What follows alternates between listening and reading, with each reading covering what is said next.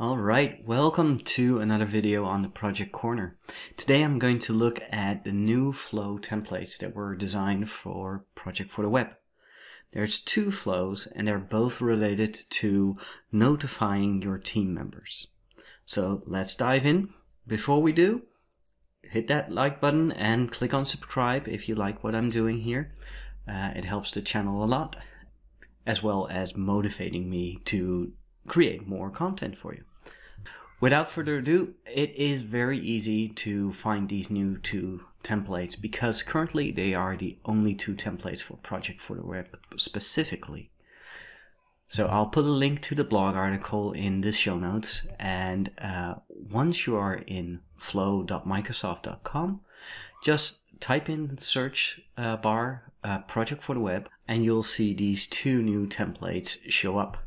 Uh, one is a daily reminder of project tasks that you still have running or running late even. And the other one is a notification email that you get when there is a new assignment made by a project manager for Project for the Web uh, within one of the uh, schedules. So let's start with the daily project reminders. This is a very extensive uh, flow and I'm not going to go through all the steps but suffice to say that it runs on a recurrence uh, it grabs some items from the uh, Office 365 user group as well as the Common Data Service, uh, which recently was renamed to DataFlex, but not yet in uh, Power Automate, it seems. And as a last step, it will create an email and it will send that out to you, to you as a team member of that schedule or that schedules because it will send one email for all of the projects that you are assigned to and have late tasks in or upcoming tasks. So let's click on continue. And from here, you see that all the things that it does, uh, it does a whole lot. Uh, grabbing, uh, grabbing variables, creating variables. Um, there is conditions happening here. And at the last point, it will create an email. Now this email is only sent when there is at least one upcoming late task. So you won't be spamming your user base on every new task that is coming.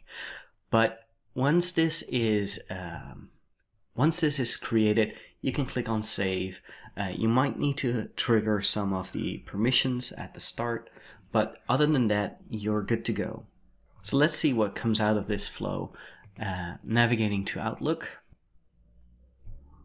So because I already have this flow running a couple of times, you'll see uh, I have gotten them every single day, uh, which is one of the improvements that I would like to address in just a moment. Here's that very nice email as a result from that flow. So what it does, it counts the number of project tasks that are late or overdue or due within the next uh, seven days, uh, tasks that are late, uh, and tasks that are upcoming. Now, upcoming looks at the next seven days, but you can navigate to each of these projects as well as a, a, single task. So let's have a look at that project, the new stuff. This was one of the feature release videos that I've done. Uh, so this is the task that is very late, obviously, because I haven't done anything to it after uh, after cre creating that video. So yeah, start of the year uh, 2020. And this is that single task. So you can even zoom into one single task instead of um, having to look and loop through a schedule, which can be uh, bigger than just the five lines that I have here. So this is very nice. This is a good example of what Flow can do for you in Project for the Web. Uh, there are short alterations that I would like to make in this flow. One of the alterations is the title of this email. I, I typically don't like exclamation points there. Uh, one other thing that I would like to do is not having a reminder every single day because that will land in my spam folder uh, faster than you can say project for the web. So these two alterations, I'm going to show you how to create them. So we're going to go to manage my flows And here is that um, here is that project for the web task reminder alteration. If we go into the edit button here, you will see that I have changed the recurrence to being once a week. And you might want to see if once a month might need, not be uh, too granular for you, but I would not like to have an email every day uh, reminding me of things that I haven't done yet. So maybe once a week or once a month will be enough. So for now, let's set it to a week. And why a week? Uh, well, that is because uh, further down the line, there is this iteration through the bookable resources. And there is a assignment and a tasks and a loop through assignments and a check if it is due in the next seven days. So if you have this alteration uh, of maybe sending an email once a month, you might want to alter that seven days to actually being 30 days because you want to give them a heads up of what is upcoming for the next month before they get their next email. So here you would have the add days and then there is this 7 here. You might want to change that to 30 or 31 days. And once you've changed this, you can also change the recurrence to being less frequent than a week, uh, setting that to maybe a month. One other thing that I would like to address in uh, this template is that exclamation point that is at the end of the flow and it is sending an email and that email has a task reminder and in this version I have stated that as being you have late tasks in projects. That is less evasive, less less uh, demanding than the original with the exclamation point. So if you would like to have this uh, version of the template, uh, you only need to subscribe to the newsletter. Uh, there's a link in the show notes and you will be sent a link to all the content that I have on my current videos, including this template and the one that's coming up. So the second template that was shared uh, is a email notification on new assignments and projects.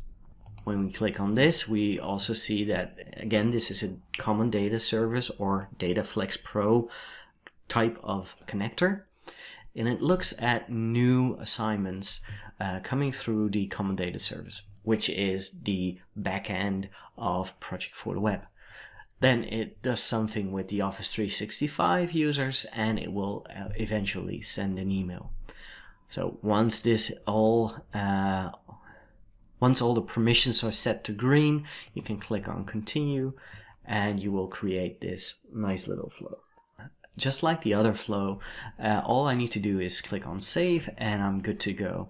And there is another email being sent every time there is an assignment. So let's uh, have a look at an example for that. And if we look at assigned, you have been assigned to a task by Erik van Hurk. And it is a task with the task name and a project name. So just like the other flow, uh, these are clickable links and you can click on this to navigate to the schedule and you can click on this link to navigate to the project task. Now, one of the alterations and actually the only alteration I would like to do here is because this is such a short email, I would rather have this in Microsoft Teams. And if you're familiar with this uh, channel so far, you have seen me create adaptive cards before. Uh, so what I've done is I've created an adaptive card and uh, it says uh, typically the same and it will be sent to a chat uh, within uh, Microsoft Teams. So as an example, here are a couple of them. Um, you do need to have the Flow app installed on your team. Uh, on your team's environment, but that is done by clicking on clicking on the ellipsis and clicking on flow here. Once that's done, uh, you will be ready to receive flow notifications. Um, and one of those flow notifications is this one. So Erik van Hurk has assigned you to a task with the name of the task, and in the project, new video project.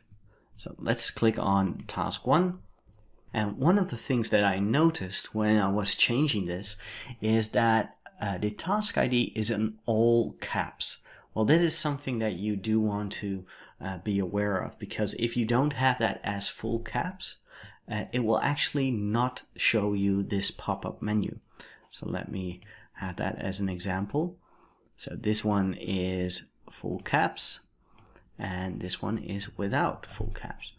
So let's have a look at that. Now this is the same project and it is the same task that I have here in the task ID because but because I don't have this as uppercase it will not show you that project task. So let's see that again. I have the one with the toUpper which is the, uh, the formula that you need to use.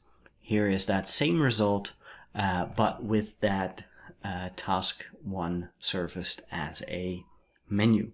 So let's have a look at the, uh, the flow and how that actually is edited compared to the send an email version. And navigating to the new assignments in Project for the Web, I can now have a look at those new assignments and see what I have done differently. So the first part is the same as the uh, original, as well as this section here. Everything is the same, but instead of sending that email, I'm posting this as an adaptive card uh, as the Flowbot to a user. And within this adaptive card, I choose the username, which is the person that got the new uh, assignment. And then the message comes from that adaptive cards designer that we've seen in previous videos. One thing that I want to point out is that task ID having the uppercase, uh, that is actually an expression that you need to use. So we'll take the toUpper trigger output and we have that uh, task ID value. And that task ID value will now be taken, uh, put in all caps, and will be uh, surfaced as a link here. So these are two uh, alterations to the templates that were shared by Microsoft. I really like them. Just want to uh, tweak a little bit and make them more efficient uh, for a modern user uh, compared to getting daily reminders or getting very short emails. Having that in Microsoft Teams makes way more sense. So if you're a subscriber to the newsletter, uh, you will find this uh, notepad with the actual code for that adaptive card, as well as the two template files for Flow itself. Now, if you're new to Project for the Web, I made some feature release videos that you might find interesting. Or you may want to have a look at that other video that I done about the adaptive cards. Both are on screen now. If you like this video, please click that like button. Consider subscribing. I'm here every other Wednesday. Uh, with that, thank you for watching.